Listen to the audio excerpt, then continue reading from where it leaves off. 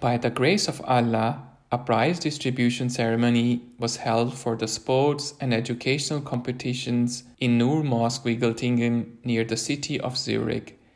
The ceremony was presided by Sadr Majlis Ansarullah Malik Arif Mahmud Sahib. The ceremony was inaugurated by recitation of the Holy Quran by Basharat Ahmed Anis Sahib, which was followed by a poem by Masood Mujahid Sahib.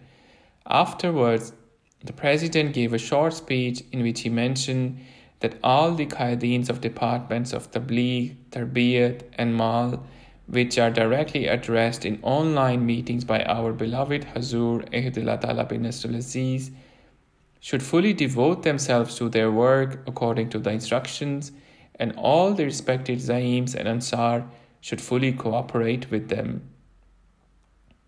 Afterwards, Qaid Education Naimullah Sahib announced the names of first, second, and third position winners of online competitions held in the fields of Tilawat Quran Kareem, Nazm, Azan, speech, and spontaneous speech.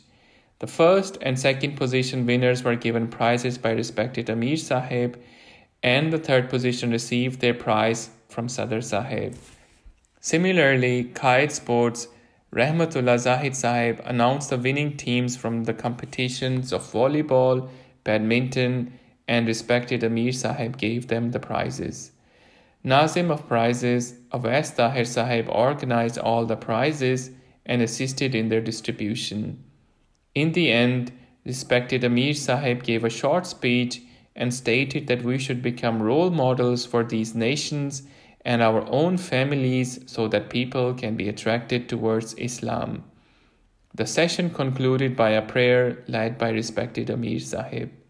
Alhamdulillah, the event was a great success. MTA International, Switzerland Studios.